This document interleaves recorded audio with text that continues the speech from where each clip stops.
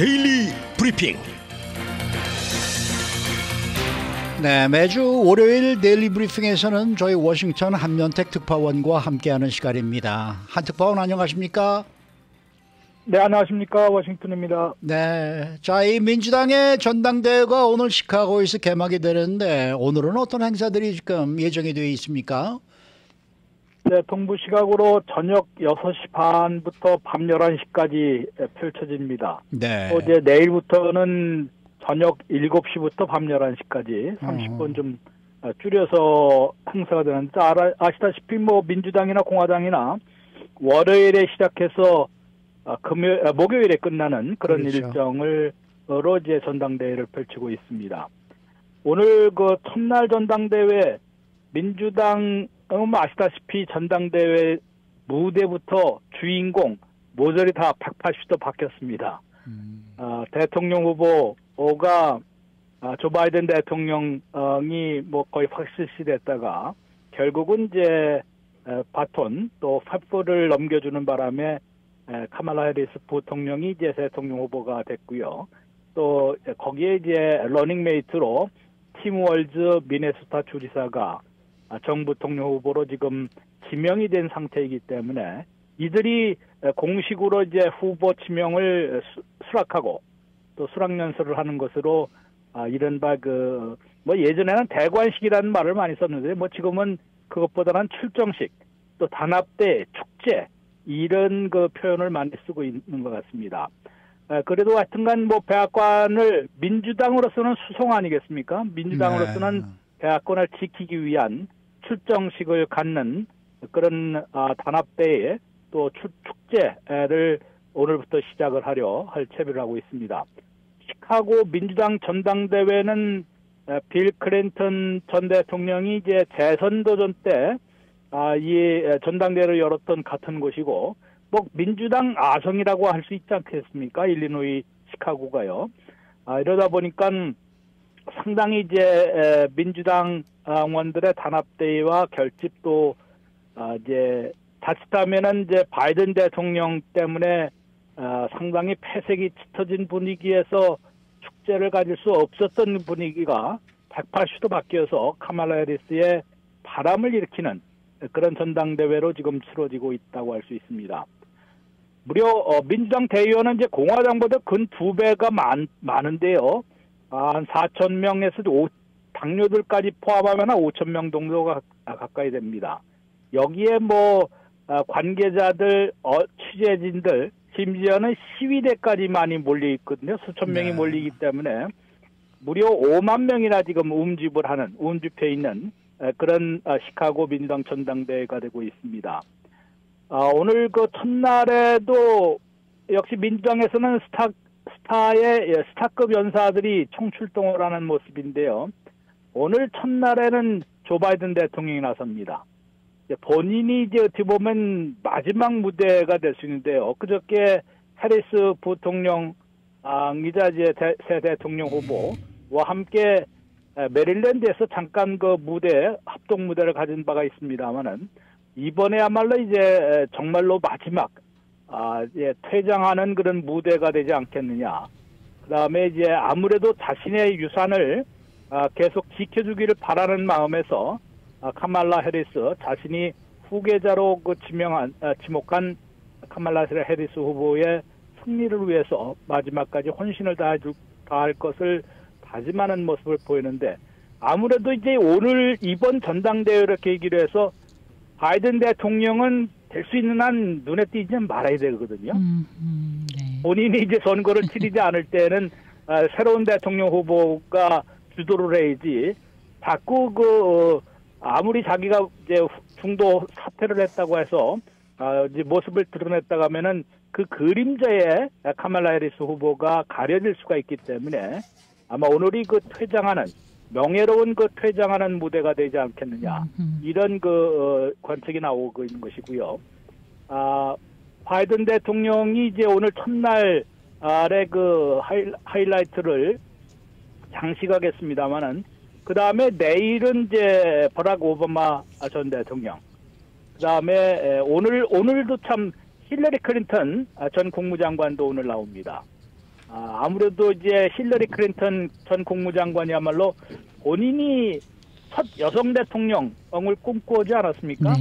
거의 그렇죠. 된 것으로 그때도 어, 생각을 해서 이른바 유리천정을 깰 것으로 누구나 이제 믿어 의- 어, 의심치는 않았던 그런 아, 목전까지 갔다가 아, 정말로 어, 이- 바로 이 도널드 트럼프 후보에게 패해서 유리천정 깨기에 실패했었는데 자신을 이제 대신해서 카말라 해리스 더구나 이제 흑인 아시아계 여성 대통령이 탄생하는 그런 그 유리천정 깨기에 성공해 주기를 바라는 그런 아마 소원을 밝힐 것으로 예상이 되고 있습니다.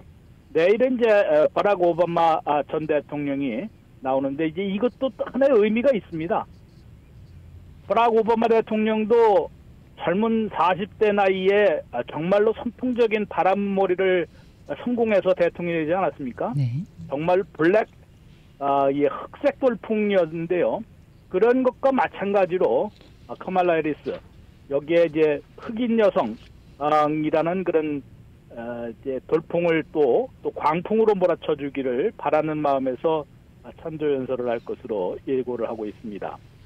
수요일에는 빌 클린턴 전 대통령이 아, 연사로 주요 스타 연사로 나서고요. 아, 그렇지만 이제 아무래도 아, 빌 클린턴 전 대통령은 자신의 그 재선을 만들어준 것이 바로 시카고시란 시카고라는 아, 그런 점을 강조할 것으로 보입니다만은 아, 무엇보다도 이제 클린턴 시절에 경제가 좋았지 않습니까? 뭐 닷컴 붐도 있었고 그래서 어, 여러 가지 뭐 구설 이제 스캔들은 있었지만은 그래도 경제하면은 뭐 클린턴 시절을 어, 그리워하는 그런 이제 에, 그 어, 유권자들도 꽤 있을 것이기 때문에 이런 그래도 민주당 정부가 훨씬 더 경제 붐을 일으킬 수 있다라는 은근한 그런 메시지를 던지지 않을까라는 예상을 하고 있고요. 아, 그렇지만 이제 아무래도 수요일에는 넷째 날은 수요일은 부통령 후보의 밤입니다.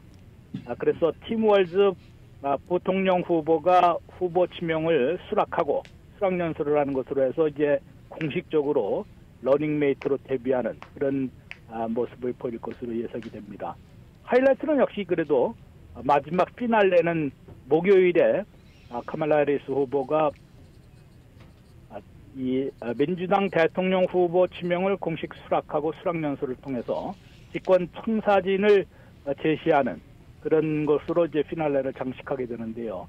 해리스 후보는 이제 주말에 어제 아, 일요일에 그 경합지 지금 경합지 하면은 뭐 다른 곳보다도 지금 펜실베니아의 모든 걸 걸고 있는 올인하고 있는 그런 모습을 두 후보가 모두 보여주고 있습니다.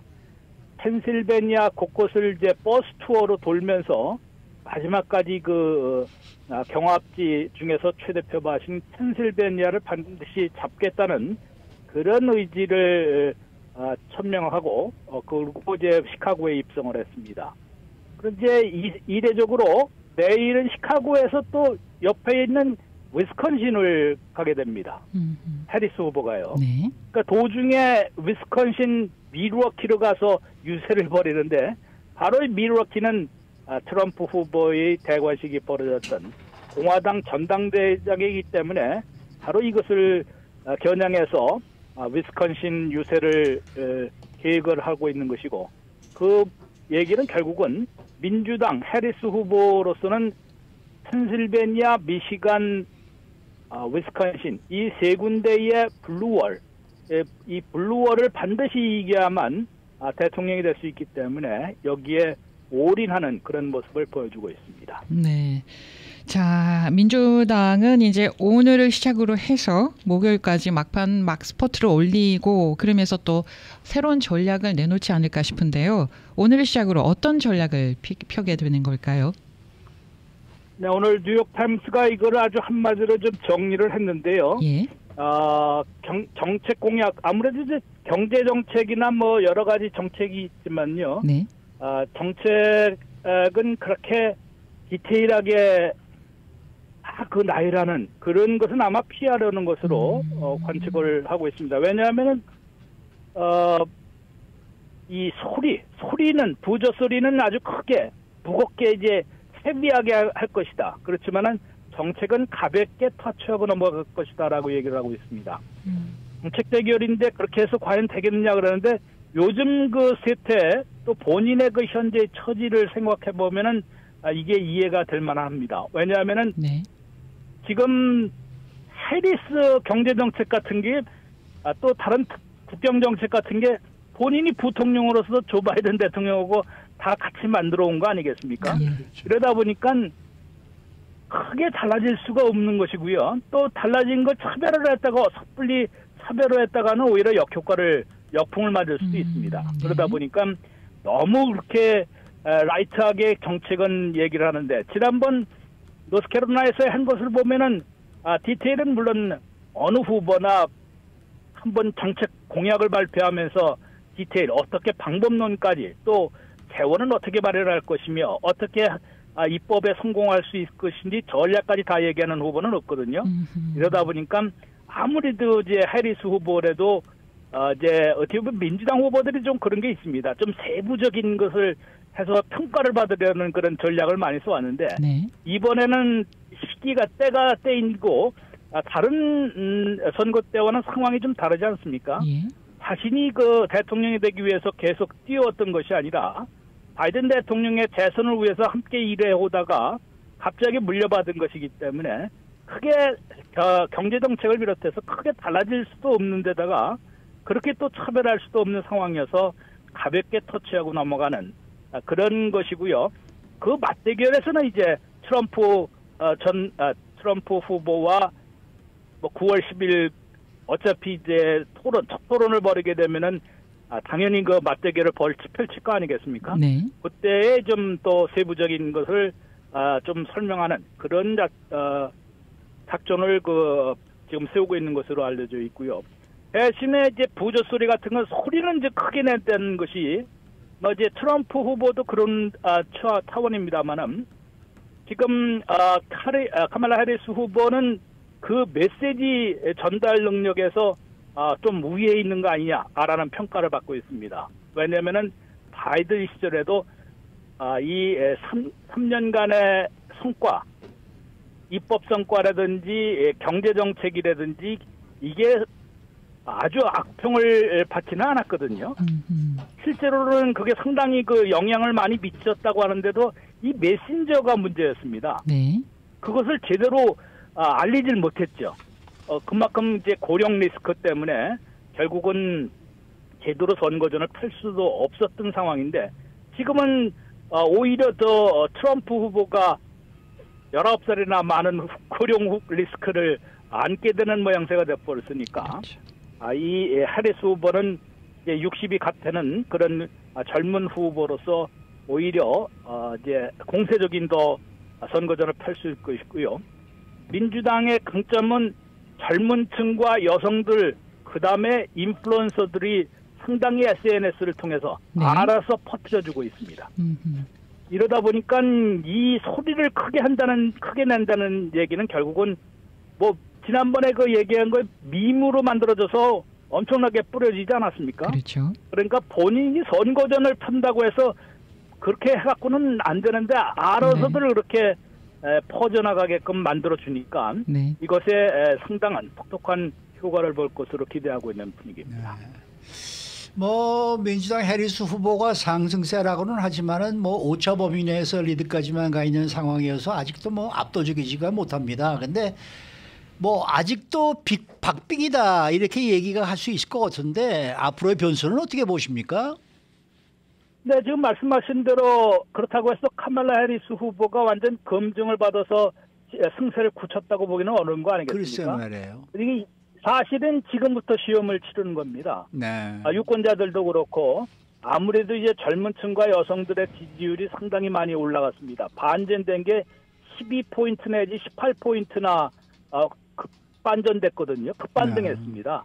그만큼 바이든 대통령이 상당히 그 저주했던 지지율을 해리스가 나타나면서 확 끌어오르기 때문에 이렇게 에, 접전 우세 그런 거로 이제 얘기 분위기를 180도 반전을 시켰습니다만은 그렇다고 해서 뭐 반드시 이겨야 하는 그런 어, 접전지 블루월에서도 그렇게 차이가 많이 나고 있는 것은 아니기 때문에 그 다음에 일례를 들어서 생활비 낮추기라든가 뭐 본인의 경제, 가계 재정에 대해서 어, 얘기를 할 때 카말라 해리스 후보의 그 어, 이제 정책이나 공약이 유권자들에게 얼마나 먹힐지는 아직도 확실치는 않거든요. 또 트럼프 후보야말로 경제하면은 그래도 자신들이 가장 더 우세하다고 얘기를 해왔기 때문에 네. 그렇게 만만치는 않은 그런 대결을 펼쳐질 것이어서 네. 그게 첫 번째 아마 변수가 될 것이고요. 두 번째는 중동 사태 같은 외부 요인입니다. 음, 중동 전쟁이 더 악화된다면 당연히 뭐 기름값도 올라가고 물가이 급등하고 모든 예. 게다 바뀔 수도 있거든요. 네네. 음, 그러면은 해리스 후보가 상당히 불리해질 수도 음, 있습니다. 음, 알겠습니다. 네, 네. 오늘 말씀 잘 들었습니다. 네, 고맙습니다. 네, 워싱턴 한면택 특파원과 함께했습니다.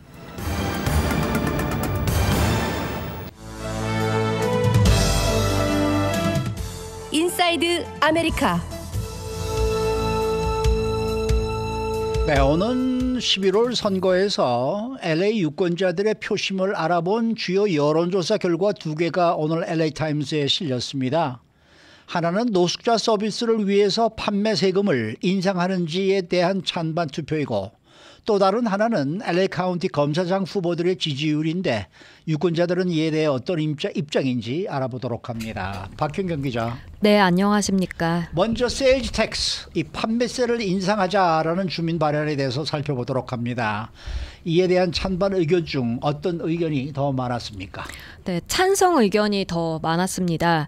LA 카운티 유권자들은 오는 11월 선거에서 노숙자 서비스를 확대하기 위해서 어, 이미 올린 0.25센트 판매세를 그 두 배로 그러니까 0.5센트 인상하는 주민 발의안에 대해 투표를 하게 되는데요. 네. 2017년 노숙자 문제를 해결하기 위해서 판매세 0.25센트 높인 이 메저 H는 리뉴되지 않는 한 이제 3년 뒤인 2027년에 만료가 되니까요. 어, 메저 H가 만료 되기에 앞서서 이제 이번 11월 선거에서 메저 H를 아예 그냥 폐지시키고 어, 인, 다시 판매세를 0.5센트 인상할지 유권자들이 결정하게 됩니다. 그러니까 지금보단 0.25센트가 더 높아지는 셈인데요. 네. 기한이 없어서 이건 새로 또 투표가 진행되지 않는 이상 무기한 연장되고요. 이처럼 지금보다 0.25센트 판매세가 높아지는 것에 대해서 찬성하는 LA 유권자들이 더 많은 것으로 이번에 조사됐습니다. 음. 네. 그러면 구체적으로 얼마나 많은 유권자들이 이에 찬성을 하는 건가요? 네, 버클리 정착 연구소가 LA 타임스와 함께 지난달 31일부터 이달 11일 사이에 LA 카운티 유권자 1,100명 이상을 대상으로 실시한 여론조사 결과를 보면요. 전체 유권자의 47%가 찬성했습니다. 예. 반대한다는 유권자는 전체 36%였습니다. 그리고 아직까지 결정을 하지 못했다는 유권자 17% 있었습니다. 이번 조사 결과는 뭐 정치 이념과 소득에 따라서 이 크게 나뉘는 모습을 보여줬더라고요. 네, 진보 성향 유권자들은 68%나 찬성했고요. 보수 성향은 찬성이 23% 뿐이었습니다. 그리고 소득이 상대적으로 낮은 사람들이 찬성하는 비율이 더 높았습니다. 아, 그래요? 네, 연소득 6만에서 10만 달러 사이는 60%가 찬성했는데 반면 연소득 10만에서 20만 달러 사이는 31%만이 찬성한다고 밝혔습니다. 아, 네. 돈 많이 벌면은 비싼 물건 사니까 비싼 물건 살 때는 sales tax가 확 차이 날 거 아니에요. 그렇군요. 그런 거 아닐까 하는 생각을 해보는 거죠. 그럴 수도 있겠습니다. 충분히요. 네. 자, 그런데 가만히 보면은 전체적으로는 찬성한다는 의견이 많은데요. 그렇다 하더라도 이런 그 이번 여론조사 결과대로 하면 부결될 가능성이 높다. 또 이렇게 분석이 나오더라고요. 네, 주민 발의안이 통과되려면 과반의 찬성표를 얻어야 하니까요. 예. 이 여론조사 결과 주민 발의안을 통과시킬 만큼 충분한 지지를 얻지는 못하고 있는 그런 상황입니다. 47%가 찬성한다고 했으니까 과반보단 3% 포인트가 부족합니다. 그렇지만 결정하지 못했다는 유권자도 17%나 돼서 통과될 가능성도 배제할 수는 없어 보입니다. 저번에 매주 H는 통과가 됐었는데 이번에는 왜 과반에 달하지 못하는 여론조사 결과가 나왔을까요? 그건 아무래도 메저 H에 관한 유권자들의 견해가 반영된 결과로 보여집니다. 어, 무슨 말이냐 하면 메저 H로 판매세가 지금까지 인상됐었더라도 노숙자 문제가 더 나아지진 않았고요. 오히려 악화됐다고 느끼는 음, 주민들도 많습니다. 네. 이런 상황에 또 판매세를 인상하는 것에 대해서 이젠 미온적인 반응이 나타난 것이란 분석입니다. 메저 H는 2017년에 3분의 2 이상 유권자들이 찬성했었습니다. 음, 그런데 메저 H에 따라서 그렇게 수억 달러 모금해서 이룬 진전에 대해서 유권자 10명 가운데 6명 꼴은 만족하지 못했습니다. 이번 조사 결과 51% 절반 이상이 그 결과에 매우 불만족스럽다라고 밝혔고요. 또 6%는 다소 불만족스럽다고 했습니다. 이번 여론조사 오차 범위는 플러스 마이너스 3%인데요. 이 버클리 정착연구소의 마크 디카밀로 디렉터는 지금 이걸 보면 접전인 상황으로 어, 이 주민 발의안에 관해선 접전이 예상된다고 평가했습니다. 네. 그러면 말이에요. 이번 주민 발의안으로 판매세가 인상이 만약에 된다고 하면 구체적으로 어디 어디에 사용이 되나요? 우선 연간 12억 달러 세수가 창출될 걸로 추산되고 예. 그럼 이제 그건 노숙자 프로그램 자금으로 쓰이게 되는데요. 구체적으로 보면 mental health care, 약물 남용 치료, 저렴한 주택, 렌트비 보조, 직업 상담, 그리고 노숙자 가족, 재향군인, 학대 당하는 여성, 노인, 장애인 이렇게 취약 계층을 위한 서비스 등이 다 포함됩니다. 이런 가운데 지지 측은 이번 주민 발의안이 자금 사용 전략을 보다 성과 지향적으로 만들었고 Measure H보다는 좀 더 명확한 책임을 요구하는 쪽으로 설계됐다고 말합니다. 그걸 위해서 이제 프로그램에서 좀 더 구체적인 목표를 설정해 놓고 그걸 달성시켜야만 가장 높은 효과성을 보이는 곳에 충분한 자금이 쓰이게끔 그렇게 감사도 의무화시킨다고 했습니다. 그렇지만 디카밀로 디렉터는 선거가 가까워지기 전까지 어, 지금 상황으로 봤을 땐 정확하게 그 결과를 예측하긴 어렵다고 말했습니다. 전 정말 이렇게 정기적인 감사하고 뭐고 이게 다 필요 없다고 보고요. 매년 성과를 평가를 해서 만일에 1년 동안에 나아지지 않았다 그러면은 선출직 공무원들은 다 사임하도록 하는 그런 조건으로 집어넣으면은 이거 분명히 해결된다고 음. 봅니다. 오, 자기들은 네. 책임을 안 지고 맞아요. 뭐 세금만 자꾸 걷어가지고 뭘 해보겠습니다, 해보겠습니다. 도대체 뭘 하고 있느냐 이거죠. 그렇죠. 네? 그러니까 뭐 정말 확실하게 효과를 볼 수 있는 어떤 뭐 획기적인 방안을 주든지 이게 뭐좀 좀 답답하지 않아요? 저는 맞아요. 그래서 이 판매세 인상 솔직히 말해서 저는 저는 그렇게 뭐 찬성하지 않는 편인데 음, 매번 세금만 올려가지고 뭘 해보겠다 그러는데 자꾸 해보겠다는 걸로 끝나고 네. 정확한 무슨 효과라든지 뭐 좀 결과는 보여주지는 못하고 있으니까 이거 좀 답답하지 않습니까? 맞습니다. 맞습니다. 네.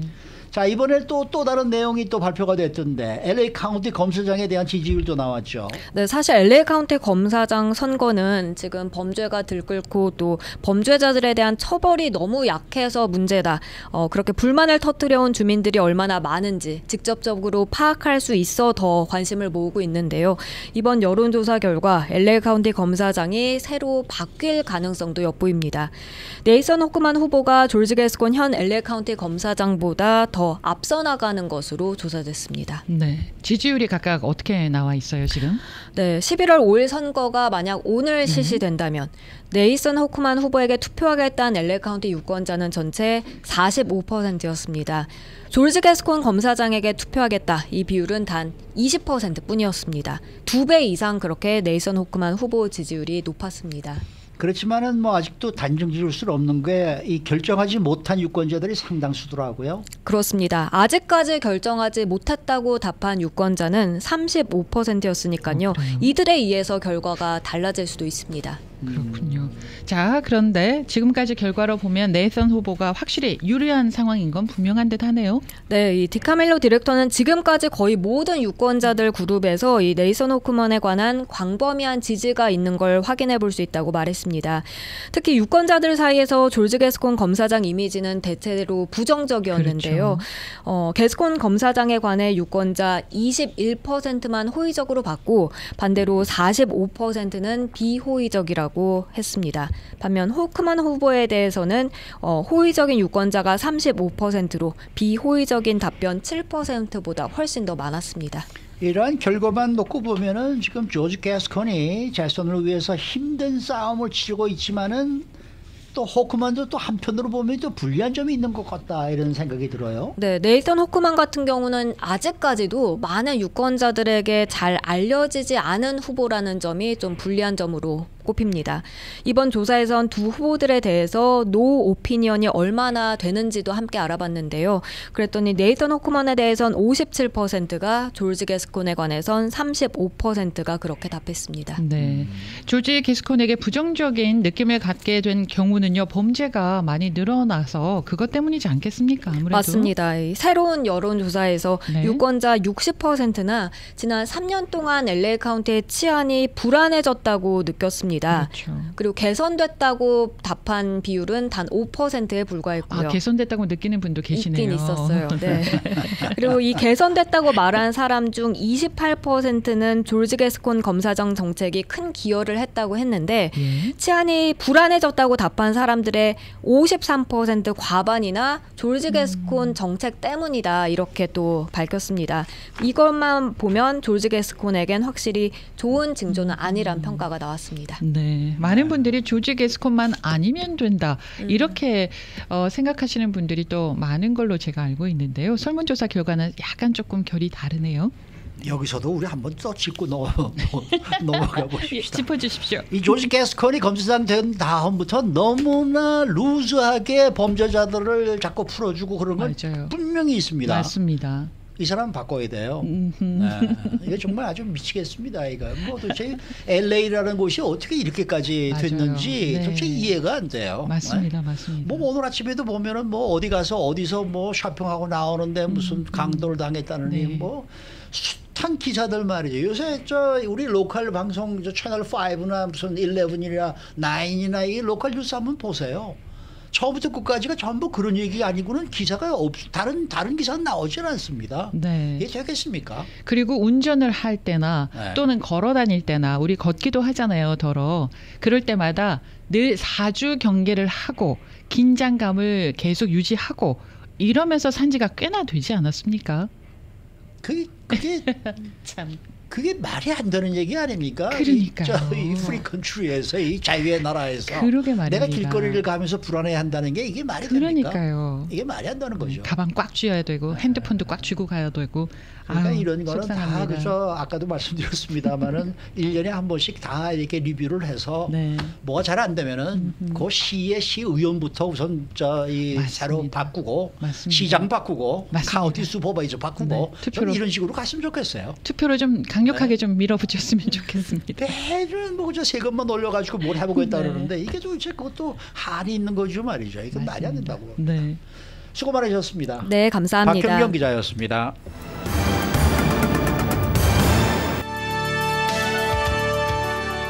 이슈 today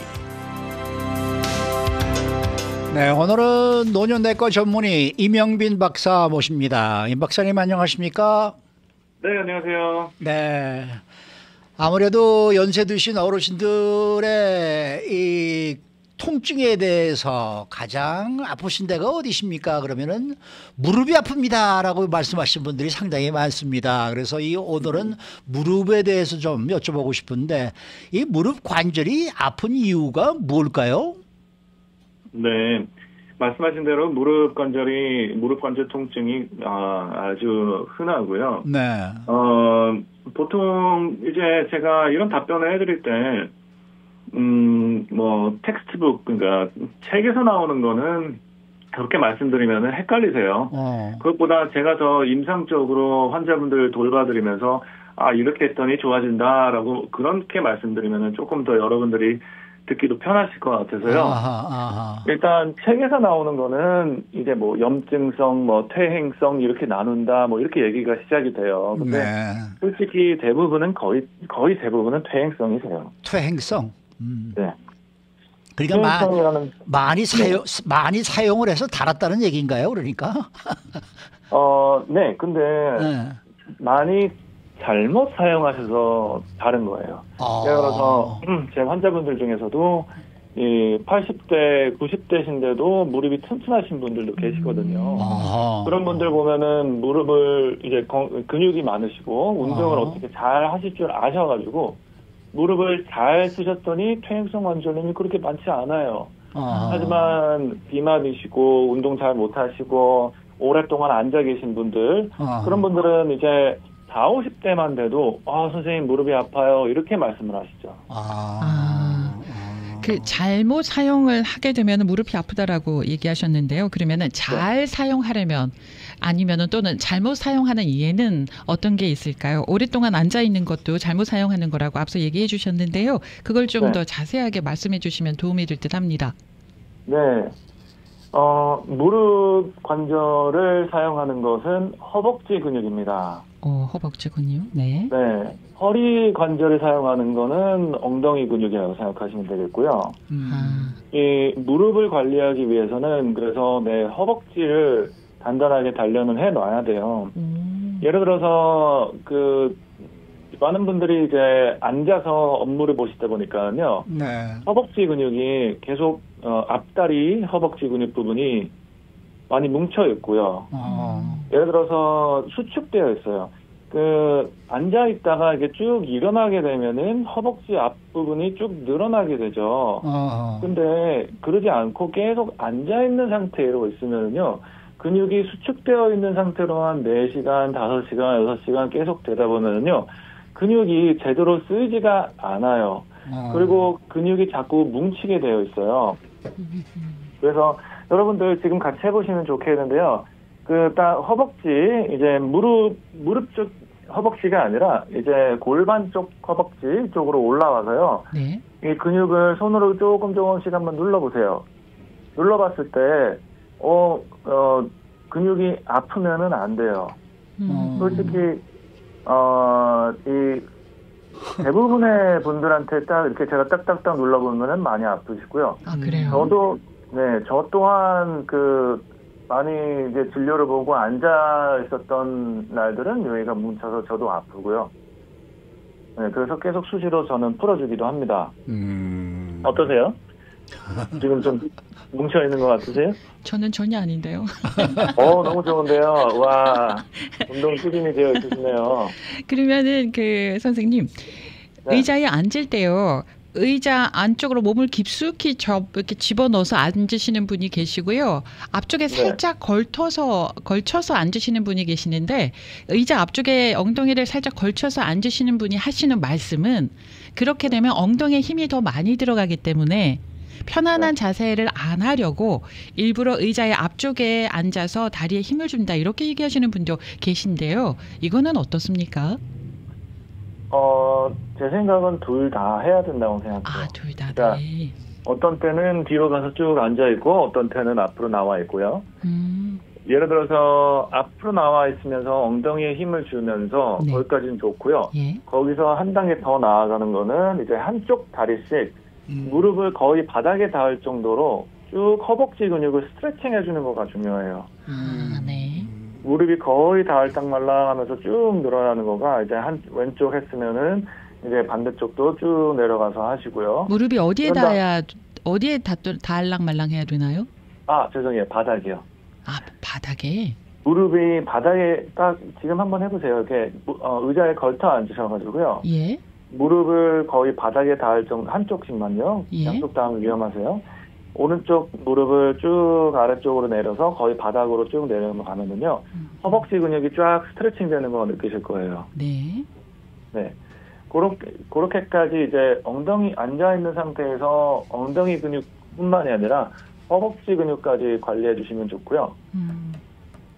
이제 엉덩이를 쭉 뒤로 넣어서 에, 이 앉아 있는 것도 허리를 위해서 조금 해줘야 돼요. 너무 아. 하루 종일 어, 어, 허리 support가 안 되어 있는 상태에서 안- 상태에서 앉아 있으시면은 허리 다치실 수 있어요. 오, 그렇군요. 그외 저 무릎이 아프신 분들이 무릎에 주사를 맞는 분들이 계시더라고요. 그건 어, 어떻게 어떤 경우에 맞는 겁니까? 대부분 이제 무릎은 아주 깨끗해야 돼요. 박테리아가 전혀 들어가면 안 되고요. 조금이라도 박테리아가 싹 들어가게 되면요. 감염이 걷잡을 수 없도록 야, 커지고요. 어. 수술까지 이어져요. 어. 그렇기 때문에 주사를 주사를 맞으시는 거는 저희 의사가 아무리 깨끗이 깨끗이 깨끗이 닦아도요. 박테리아가 들어갈 수가 있습니다. 음. 그렇기 때문에 주사 맞는 거는 최대한 금하시는 게 좋고요. 아하. 아, 이뭐 스테로이드 주사도 이제 저희가 어쩔 수 없는 경우에 넣어요. 그 이, 염증이 너무 심해서 막 어, 무릎 관절 띵띵 부어 있잖아요. 그러면은 저희가 주사를 꽂아서 물을 다 빼내고 음흠. 거기다가 스테로이드를 조금 넣습니다. 어. 염증을 가라앉히려고요. 어. 근데 이제 그런 경우가 아닌데 이제 무릎에 스테로이드를 자꾸 맞으시는 거는 이제 연골을 자꾸 부식을 하게 만들기 때문에요. 아. 저희 최신 연구 결과들로 보면은 주사 스테로이드 주사 맞는 거는 좋지 않고요. 어. 그리고 하일루로닉 애시드라고 하일루로닌산 이런 또 주사를 많이 맞으시는데요. 그것도 그렇게까지 연구해서 효과가 있다라고 나오지는 않았어요. 어. 그래서 저는 제 환자분들한테 최대한 무릎에 주사 맞지 마세요라고 말씀 안내해드리죠. 음. 그런데 지금 현재 무릎이 많이 아프단 말입니다. 그러면은 주사 맞지 마세요. 이제 이렇게 얘기를 하시는데 그러면 더 이상 악화되지 않기 위해서는 어떻게 하는 게 좋을까요? 앞서 말씀하신 허벅지를 어, 강화하는 그런 운동을 계속 하는 게 도움이 될까요? 어, 네. 허벅지를, 그러니까 환자가 가장, 음, 결여되는 부분이 어떤 부분인지를 찾아내고, 예. 거기를 집중적으로 도와드려야 되고요. 예. 제가 운동을 하셔야 됩니다라고 얘기하신, 말씀해드리는 이유는 거의 팬데믹 수준으로 허벅지 근육, 엉덩이 근육을 단련하시는 방법을 모르세요. 음. 그렇기 때문에 허벅지를 딱 검사를 해보면은 어, 너무 부족하시기 때문에 이제 그 단계에 맞는 운동을 가르쳐 드려야 되고요. 예. 대부분 어 이제 실수하시는 거가요. 아 무릎 운동 해야겠다라고 생각하시면서 걷기를 하세요. 음. 조금 음. 어 본인이 알고 있는 운동들을 많이 하시는데요. 그게 아니라 그 나한테 딱 맞는 운동을 물리치료사 선생님한테 배우셔야 돼요. 아. 저한테도 뭐 배우셔도 되고 뭐 내과 음. 선생님이 알려주셔도 되는데요. 그래도 물리치료 선생님이 딱 30분 동안 시간을 쫙 쓰시면서 환자의 근육 상태와 관절 상태를 보시면서 근육은 이 환자한테는 적당한 운동은 요 정도다라고 알려주시는 게 가장 중요하고 그거를 따르셔야 돼요 집에서. 음. 음. 그 런지 운동이라는 거 있죠? 왜? 발 하나 올리고 네. 이렇게 굽히는 거. 네. 그런 그런 운동은 상당히 좀 무- 무릎에 좋을 것 같은 느낌이 드는데 어떠, 어, 어떻습니까? 어 좋은데 조금 고난도예요. 아, 고난도. 왜냐면은 아. 네, 왜냐면은 이제 몸무 사람의 몸무게가 이제 어. 양 오른쪽 왼쪽으로 발이 넓어지는 거는 사람은 균형을 잘 잡는데 음. 앞뒤로 가게 되면은요 몸이 이제 상체가 트위스트 될 수도 있고요.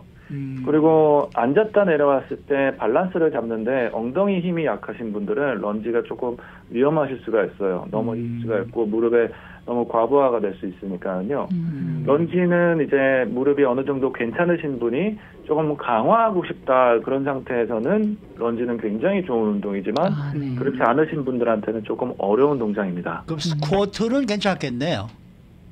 어떤 거요? 스쿼트. 스쿼트요? 예. 그냥 네, 저. 우리가 이렇게 저 앞에 이게 저 손으로 양, 양손을 무릎 이렇게 하고 그다음에 그냥 앉았다 일어나는 거 있지 않습니까? 하- 같은 자리에서. 네, 네. 그것도 이제 일단 제가 예를 들어서 진료를 보면서 스쿼트 네. 한번 해보세요라고 하는데 예. 한 다섯 개만 하셔도 무릎이 아프신 분들이 계세요. 어. 그렇지 않은 분들도 계시고 어. 일단 한 다섯 개 정도 해봤을 때 무릎이 아프지 않다 그러면은 좋습니다. 아, 하지만. 아프시면은 그거 말고 음. 이제 앉은 상태에서 그 한쪽 다리씩 쭉 음. 피는 거가 있죠. 음, 음. 무릎에서 이렇게 쭉 펴가지고 한쪽 다리만 이렇게 앞으로 쫙 나가게 네. 그 동작이 있지 않습니까? 네. 네, 네. 거- 그러면서 이제 허벅 어 그 다리를 핀 쪽에 허벅지에 힘이 쫙 들어가 있는 상태 그거 유지해 주시는 어 이게 knee extension이라는 운동이고요. 음. 요 knee extension 운동을 어 처음부터 어 하시는 게 그 단 그분한테는 적합한 단계예요. 네. 그 어르신들 보면은 나 무릎 수술했어요 하시는 분들이 꽤나 많으신데요. 이 수술은 언제 해, 해야 좋은 건가요? 아니면 안 하는 게 좋은 건가요? 어, 수술은 최대한 미루는 게 좋고요. 아, 네. 어, 수술을 결정하실 때, 그 정형외과 선생님이 결정하시는 게 아니라 음흠. 내가 결정을 해야 돼요. 내가 물리치료를 최대한 다 해보고 다 해보고 끝까지 해보고 네. 근데 물리치료사 선생님도 말씀하기로는 아 저희가 이제 한계에 도달한 것 같습니다. 음. 그리고 내가 느끼기에서도 아 생활이 좀 많이 불편하네. 그랬을 때 정형외과 선생님이 맞아요. 그 지금 느끼시는 거 맞고요. 타이밍이 지금입니다라고 하시는 그때가 수술하는 게 좋아요. 그럼 그 수술은 어떤 수술을 말씀하시는 건가요? 아 대부분 다 갈아 끼는 겁니다. 그래서 아, 그니 아, 인, 인공. 인공 관절을 넣는다는 얘기예요? 네? 인공 관절을 넣는다는 얘기입니까? 네 맞습니다. 아. 인공 관절을 넣는 거가 이제 아, 그, 가장 그건 진짜 마지막이구나. 네. 마지막인데요. 아. 왜냐면은 복강경으로 요새 시술을 하는 거- 경우도 많아요. 네, 네. 근데 그 시술은 솔직히 한 6개월에서 1년 정도 잘 쓰셔도 그 정도밖에 시간을 못 벌고요. 아, 궁극적으로 knee replacement 수술을 딱 하시면은 그거가 잘 융합이 잘 되어 있고 근육이 잘 붙어 있는 분들은요 정말 본인 무릎처럼 잘 쓰십니다. 아, 네, 알겠습니다. 그 뭐 먹으면 좋은 영양제도 있어요? 네, 글루코사민 많이 드시는데요. 그건 효과 없습니다. 그거보다 차라리 curcumin이 좋고요. boswellia가 좋습니다. 아, 네. curcumin이라 그러면 카레에 들어있는 성분 말씀하시는 거죠? 네, 강황이요. 아, 네. 강황. 네, 아, 알겠습니다. 그 카레 라이스 많이 먹어야 되네. 네. 오늘 말씀 오늘 감사합니다. 네, 감사합니다. 네, 노년내과 전문의 임영빈 박사 함께했습니다.